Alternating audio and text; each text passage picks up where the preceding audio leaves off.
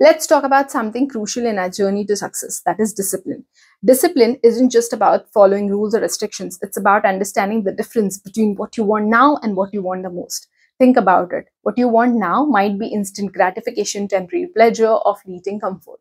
But what you want the most is often long term growth, lasting fulfillment, and true happiness. Discipline teaches us to prioritize what we truly want, what is important, even when it's hard.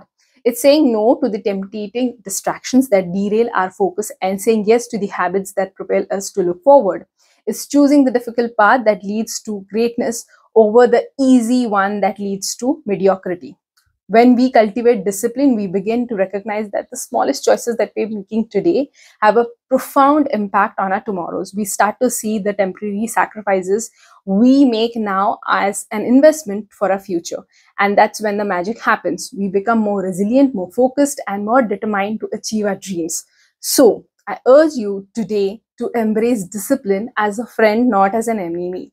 Let us together guide our conscious decision that aligns with our values and goals. Remember, discipline isn't about depriving ourselves from enjoyment, it's about investing in our true potentials. What you want today can be appealing, but what you want the most is the thing that is going to set you free.